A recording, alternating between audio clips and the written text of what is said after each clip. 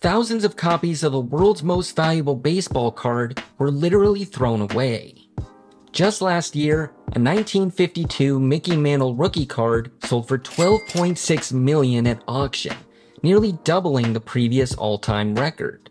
But what makes this card so valuable is not just its rarity, but also the story behind it.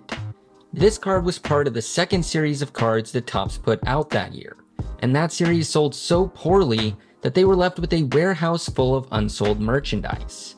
So after a few years of no sales, Topps decided to literally throw all of these cards into the ocean, making them exceptionally rare to find today.